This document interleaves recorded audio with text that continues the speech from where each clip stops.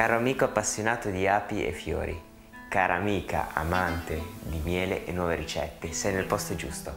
Sono Samuel Chuck e ho preparato per te questo fantastico video in cui scoprirai alcuni modi per usare il miele in modo pratico in cucina. Sigla!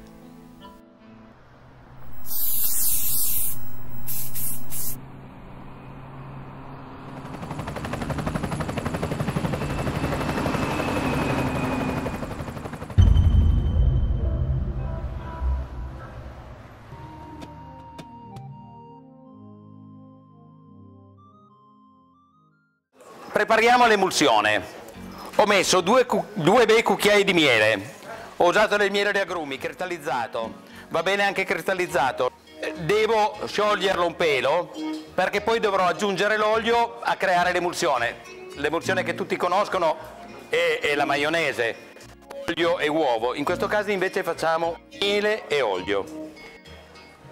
Aggiungo un po' d'aceto che ha la funzione di incominciare a sciogliere il miele che dovrò poi servirci per marinare il pesce.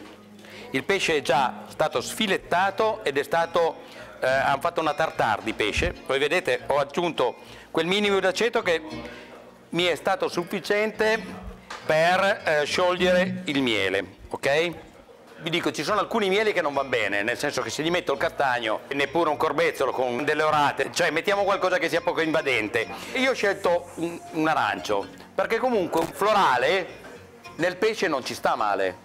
Per cui, una volta diluito il miele, devo mettere il sale, perché poi nella marinatura è fondamentale avere anche il sale. Ho messo un bel cucchiaio di sale, ma c'erano due bei cucchiai di miele lo giro e poi vado ad aggiungere l'olio a filo e man mano che aggiungo l'olio, l'olio viene incorporato. Eh, un'insalata estiva la puoi condire con questa, volendo gli puoi aggiungere, come fanno in Francia spesso, un po' di senape, magari quella senape all'antica con i semini dentro. Eh, vi assicuro che un'insalatina condita con un po' di senape, questo, eh, oggi prepareremo un'insalata di carciofi e la faremo con, eh, con questa emulsione e voi sentirete subito la differenza di avere un'emulsione a condire piuttosto che non solo l'olio e il sale. L'emulsione è venuta, è una gelatina adesso. A questo punto io invece questa soluzione la metto dentro il pesce. Cosa fa il miele? In parte mi toglie un po' di acqua al pesce, chiaramente, perché essendo acido me lo va... Mi, però in maniera inferiore di quanto non farebbe il limone, ma sufficiente per darmi una sensazione di cotto poi al prodotto finale che non, che non è crudo. Eh, quando ha fatto una marinatura eh, di poco superiore a, un quarto d'ora il pesce non ha più la sensazione di crudo, si sente già che in parte è marinato. Il miele mi preserva il sapore e riusciamo a riconoscere il che c'è.